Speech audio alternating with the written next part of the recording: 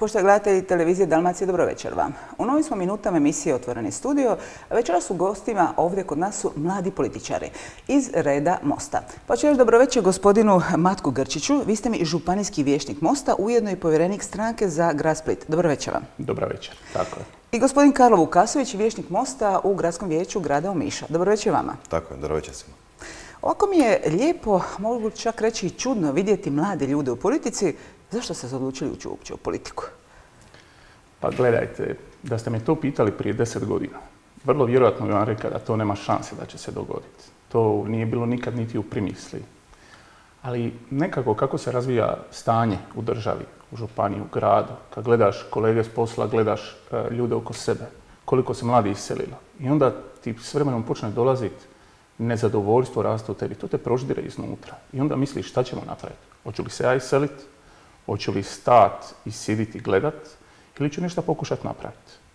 I u jednom trenutku, pa možemo reći, to je bilo na prošlim kotarskim izborima, nas nekolicina prijatelja, dosta ovako nezadovoljni sa sveukupnom situacijom u svemu, smo se odlučili, ajmo se ipak angažirati. Ajmo pokušati nešto napraviti. Pa ako ne uspiju, mogu reći ja sam pokušao. U kojim kotarskom izborima za Na Split? Brdima. Na Brdima ste. Na Brdima. E, u tom trenutku smo upoznali Splitski most. I meni su ti ljudi osvojili odmah na prvu. Tamo je bio gospodin Markotić, gospođa, Ljulj, e, naša Jelena Kovačić, Ante Čikotić. Oni su mene osvojili na prvu. Ja sam došao nakon razgovora sa njima rekao, ono, ljudi, ja sam vaš. Meni se te ideje toliko svidile i ljudi su mi bili toliko fer i pošteni.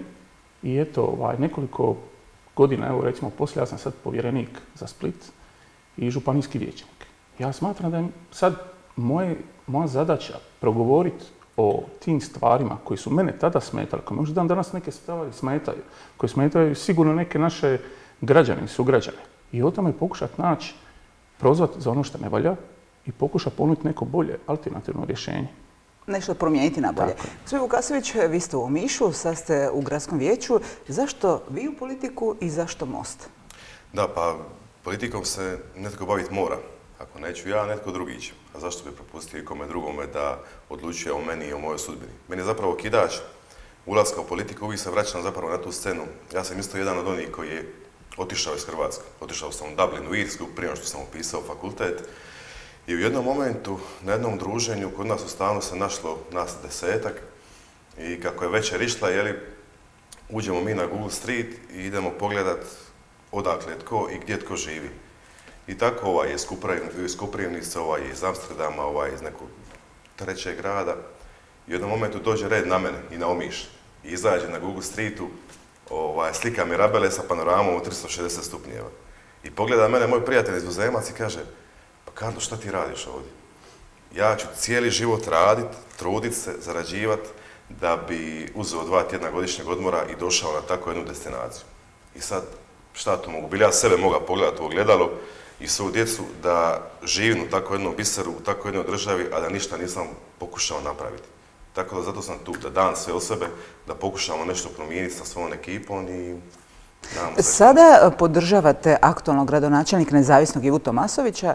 Koliko uopće možete kao vijećnik nešto napraviti? Da li oni prihvaćaju vaše kritike, vaše pohvale, vaše amandmane? Jasno. Mi smo znači sa e, gospodinom gradonačelnikom Ivom Tomasovićem u projektnoj suradnji, jer on bez nas isto ima većinu, tako da mi zapravo njemu nismo ni potrebni. E, mi smo se, vijeće se znači počelo sastavati, ima možda pola godine i od tada mi radimo na jednoj demografskoj mjeri. O tome ću pričati kasnije, to je zapravo i ključ našeg političkog djelovanja, tako da Ivo je zapravo u svakom trenutku spreman saslušati nas, čuti nas, sastati se sa nama, te dati možda nekakav konstruktivni e, prijedlog i tako. Tako da mi smo tu, na primjer, eto čisto primjer, mi smo tu mjeru napravili, ona je prihvaćena u cijelosti, međutim odgođena je zbog situacije u Ukrajini, e, zbog općenito covid-ove situacije i svega. Tako da, eto, imamo suradnju, pričamo, zbog sporosti tih gradskih uprava i struktura koje su u gradu, to sve ide malo sporije nego što bi trebalo. Međutim, sa suradnjom smo za sada zadovoljni. Za sada ga, znači, Podržavate i radite da. dalje. Da. Gospodin Grčić, situacija u Županijskoj skupštini je malo drugačija. Naime, vaši prijedlozi, vaši amandmani u pravilu ne prolaze. Je li to sve primjer, privid glumljenja demokracije ili je to onako priča idemo samo kritizirati kao oporba, ali ne možemo pružiti ruku vladajućima ili je to ipak bolja suradnja? Gledajte, e, pri dolasku u Županijsku skupštinu, moram priznat, očekivao sam više. Očekivao sam više od svega toga.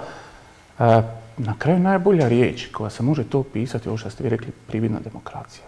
Znači, mi svi smo došli sa svojim planovima i programima. Kako mislimo da naša županija treba funkcionirati? Po pitanju svega, po pitanju zdravstva, po pitanju cesta, po pitanju svake ustanove.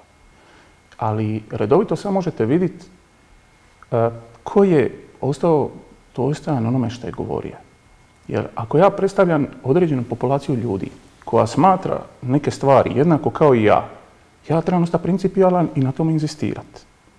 Ali sad šta možemo vidjeti? Možemo vidjeti da su ljudi govorili neke stvari predizborno, a sad možda se oni sa tim još ne slažu, ali redovito ruka ide gore, kada to zatreba.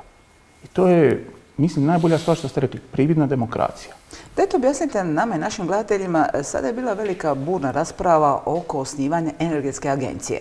E, to je bio predlog vašeg vješnika Mate Rebića 2018. godine, ali ste vi zbog toga bili suzdržani, međutim bili ste protiv e, izbora novog ravnatelja bez natječaja, bez ičega, gospodina Jakića iz Domovinskog pokreta.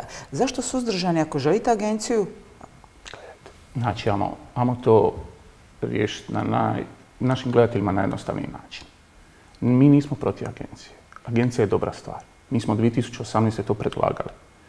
Ta agencija bi trebala pomoći našim, našim subještanima. Ali zašto ona nije, ona je bila zamišljena da u njoj bude do 15 inženjera. Trebala je biti u Imotskom. I to je, znači to je tako zamišljeno. Zašto to nije napravljeno na takav način? Znači, nego ovdje zapravo, ja sam to rekao na, sjednici, to, ja ovdje vidim čisti uhljebizam. I ovo je po meni čista hrvatska priča koja je dobila onaj spin, desna ruka će ići na srce, a ljeva ruka će ići u džep. To jest, dobit ćete, ali neki mi uzmemo nešto.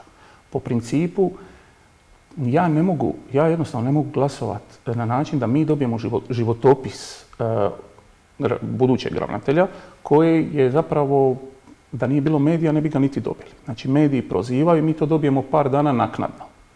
Ako je to tako čisto, jedan kroz jedan, zašto to nismo dobili odmah? Zašto pokušao doći ispod kadra? Uostalo, ako znači obrazloženje je da će ta osoba voditi 30 dana dok se agencija ne uknjiži, dok se ne obave protokolarni problemi koji se inače vode. Zašto to neko od pročelnika nije mogao napraviti? Pa onda mu napraviti lipo natječaj i nek najkvalitetnija osoba dobije. Znači, sposobnost mora biti ispred podobnosti. Tražite transparentnost, je tako? E, gospodin Vukasović, priča za Omiš je trenutačno lijepa. E, vaš grad je sad veliko gradilište. Od Luke Omiš, od zaobilaznice, gradnje tunela i svega. Uredno ste vi kao grad uredili, uredili fošal. Međutim, što vam još nedostaje? Što je bitno za mlade ljude? Kažete, demografska slika je poprilično loša u cijeloj Hrvatskoj. Kako to pokrenuti? Zapravo postoje više modela kako se može pokrenuti demografska slika u jednoj, u jednoj sredini. Znači, mi smo osmislili tu demografsku mjeru koja se zapravo bazira na tome da u momentu kada idete na treće dijete, onu drugu i treću godinu porodiljnog dopusta, vama padne državna naknada na proračunsku osnovicu. Mi smo napravili model prema kojem bi grad uskočio sa nekakvom razlikom u tom periodu druge i treće godine. Da praktički ne bude kažnjavanje šta ste na porodiljnome. Tako je, da ne bude kažnjavanje. Zatim to treba pratiti postojeća vrtička infrastruktura. Vrtići su jedan od osnovnih razloga zašto ljudi ne idu možda na treće dijete, jer se boje da neće to možda moći popratiti, neće biti vrtića, neće biti, neće biti jaslica. Također, poduzetništvo je jako bitna tema, te se ona isto tako usko može vezati uz demografiju. Ako ljudi nemaju perspektive, isto tako neće se odlučivati za za stvaranje, za stvaranje obitelji i za na kraju krajeva ostajanje u jednoj sredini. Tako da su poduzetnički inkubator te ponovno pokretanje priče o poduzetničkoj zoni, isto nešto o čemu smo pričali i na čemu radimo, a upravo znači smo u procesu prikupljanja dokumentacije za, za pravljenje jedne tematske sjednice, upravo po temi, upravo na temi demografije plus poduzetništvo. Općenito znači poboljšanje kvalitete života e, ljudi. Jer je sada stvarno izgleda lijepo. I to se sve lijepo ušminkava, također od fošala do, do mosta koji već sada izgleda zaista impozantno. Međutim, e, jedan grad, jedna sredina nisu samo lijepe zgrade, klisure i vizure, što mi svakako ima. Međutim, ako nema ljudi koji će tu živjeti, stvarno vam betona ne znači ništa. Tako da, naš plan djelovanja je zapravo poboljšanje kvalitete života ljudi kroz, ova, kroz ove dvije stvari koje sam rekao. Nadam se da ćete to i provesti. Gospodin Grčić, idemo na onu priču vezano za županiju, kako ste vi zdravstveni djelatnik. Naime, minulo ljeto smo imali problema da uopće nije bilo liječnika u Supetru, a vi radite u Supetru, ako se ne varam, e, ginekolog, pedijatar, obiteljska medicina. Zašto nema tih specijalizacija? Zašto nemamo liječnika, a imamo mladih obrazovanih ljudi koji idu izvan Hrvatske? Evo ovako, e, u Supetru ne radi, radi na otoku Braću, ali ne u Supetru. E, djelatnik sam hitne medicinske pomoći. Znači, znate cijeli otok u dušu, što bi se rekao. Ja sam deset godina tamo već, tako da. Što se tiče zdravstva, zdravstvo u našoj županiji je polako, znači stanje je kritično. Stanje je već onako polako na koljenima. Tu prvenstvo mislim na dom zdravlja. Zašto? Znači, u domu zdravlja, ali ne samo na otoku Braću, vi to vidite po cijeloj županiji, u domu zdravlja dolazi E, pedijatre, možete na na prste ruku, dobiju specijalizaciju, odlaze, u bolnice. Zašto? Kakvi su im uvjeti rada? Zašto nisu raspisivane druge specijalizacije prije? Ovo stanje sada nije problem sada, ovo je problem što se počeo dešavati još davno prije. Znači, kad su se Most je prošlom sazivu sazvao tematsku sjednicu na zdravstvu, znači mora biti i u ovom sazivu da se vidi kako se to može spasti. to je zapravo jedan balon, znači Dom zdravlja Splitsko-Lanske županije koji će puknuti zato, zato što je preglomazan i neučinkovit na obično trošak naših građana. Onda ćete dobiti da će nam se raspasti Dom zdravlja. Sinj Dom zdravlja, Brač Dom, dom zdravlja Split. Zašto? Tako je, točno to. Korčula ima dva doma zdravlja. Zašto e, po primjerici idemo sad gledat maćehinski odnos koncesionara i zaposlenika doma zdravlja? Zašto nama izvješće dolazi E, toliko i toliko obnovljena ta i ta ambulanta. Šta je uračunato u to? Je li to ambulanta od 15 metara kvadratnih ili 90 metara kvadratnih? Ne možemo mi sad pogađati, aha, ovolika cifra za tu ambulantu i samo mora znati svaku ambulantu njenu kvadraturu i šta je u to uloženo za tu cifru. To mora biti dosta bolje, dosta bolje izloženije. E, šta se tiče maćehinskog odnosa o kojem smo pričali, zašto specijalizanti koji su radili kod koncesionara ne mogu dobiti specijalizaciju za razliku od onih koji su radili kod doma zdravlja? E, ima Kako to napraviti? Evo sad imamo problema, iznijeli ste tisuću problema što se tiče zdravstva i mnogo drugih stvari. Kako to promijeniti? Je li uopće možete s vašom rukom, sa vašim upornim radom u Županijskoj skupštini nešto dovesti na bolje? I vladajući su svjesni da je zdravstvo problem. To, to se očito vidi. Pa mi smo došli do toga, evo na otoku Braću, spomenuli ste, doktor Jašić otiđe u mirovinu, pa se vrati nazad, pa mu se desi cilj onaj cirkus što se desi i sa telefonom i sa internetom i s klimom koja ne radi. To nisu uvjeti u 2022. godini. Vi ne možete staviti otočane, ne samo braćane, hvarane, ne možete vi staviti šoltu, ne možete nikoga staviti kao građana drugog reda. Reći, dragi ljudi, vratite se nazad, ovdje je vaše mjesto. Ali vidit ćemo za pedijatra, vidit ćemo za radiologa, vidit ćemo za ginekologa. To jednostavno nisu uvjeti. Ja ne znam bi li vi htjeli tako živjeti na otoku koji je tako izoliran. Što se toga tiče, eh, ovdje svi znaju da ima tu jedan veliki problem. Mora će biti tematska sjednica što se tiče zdravstva. To treba jednostavno uprit, vidjeti, znači svaka ambulanta ima svoje pluseve i minuse. Govorimo o cijeloj županiji. E, svaki plus treba kopirati, a svaki minus treba ispraviti. Ali što se tiče doktora Rađe, našeg ravnatelja, problemi su počeli nekad je on bio ravnatelj. Problem bio je počeo kad je bio doktor Petric. Doktor Petric je danas zaposlen kao savjetnik za kvalitetu rada. Što je meni totalno smišno, jer jednako ćete raditi suprotno od onoga što vam kaže, onda nekako ima logike. Ali gospodin ima 70 i nešto godina. Onda vidimo taj mačehinski odnos o kojem smo govorili prije, vidimo doktoricu sa Sučitra, koja je dobila od ministarstva, od HZZ, dobila je dozvolu za do kraja godine radi. 3000 pacijenata. Znate što je 3000 pacijenata? To nije malo. Potpiše peticiju da ona ostaje. I svima je super, sve prolazi osim doktoru Rađi. A što se tiče savjetnika, tu nema problema. Sad ne možete uzeti dvostruka mjerila za jedne, dvostruka mjerila za druge. Tako da tu ima dosta više problema nego što mi mislimo da ima. Pogotovo ovo što se tiče otoka Brać, jedan e, ginekolog otiđe u mirovinu, dolaze iz Splita. Pedijatar dođe, on će isto brzo ići. Šta će biti kad doktorica Matulić otiđe? Koji će onda biti znači, problem? u problemima. Točno to. Da. Gospodin Vukasović, kakva je situacija u Omišu što se tiče drugih mjesnih odbora? Naime, mi svi doživljamo Omiš, mjesto uz more na ušću rijeke Cetine, ali što je sa ostalim mjesnim odborima koji su izvan, znači u Zagorskom dijelu, dosta njih još uvijek nema vodu iako gledaju Cetinu. Je li to možete kao gradski vješnik nešto pomoći napraviti? Zapravo ja mogu biti njihova poluga u gradskom vijeću. Međutim, ljudi moraju osvijestiti važnost politike i važnost izlaženja na izbore. Izbori za mjesto odbore nisu nešto što je popularno i dalje u, općenito u Hrvatskoj. Ljudi nisu zainteresirani za te, za te izbore, međutim, to su njihovi predstavnici u gradu. Tako da sve te zapravo probleme često se dogodi da mjesni odbor uopće ne zna. Čovjek nema vodu, nema, nema struju, on se, javi, on se javi gradu, grad to nije uopće znao. Znači, treba osvijestiti da ljudi moraju ići na izbore, na mjesne odbore, te tamo birati prave ljude. Ti su izbori jako brzo, tako da nadamo se da će nas ovoga poslušati i da će izaći na, na te izbore. Je li ljudi reagiraju na vas kao mladog vijećnika? Naime, svi na neki način zaziremo od mladi kao nisu iskusni, ali praktički sva snaga je u vama. Sva snaga u nama, zapravo najveći kompliment u mom političkom djelovanju mi je dao sada na zadnjoj e, sjednici gradskog vijeća, prijesednik gradskog vijeća, na jednoj od zadnjih točaka možda predzadnjoj, stvarno je bila nekakva, nekakva proforme, točka, nerazvrstane ceste ili tako nešto i kaže on, ništa, ja bih ovo dao na glasanje, osim ako vijećnik Vukasović nema što za reći.